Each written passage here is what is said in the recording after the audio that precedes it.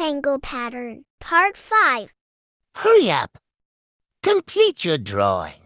Why? A class fellow of mine has invited everyone to a party except me.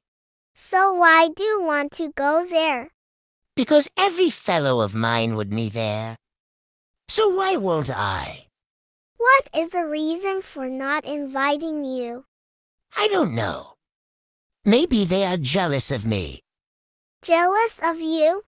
What a joke! It's not a joke. Anyways, I will go there. No matter what. There is a quote which I like very much. What is it? If you are not invited, don't even ask to go. Hope you understand.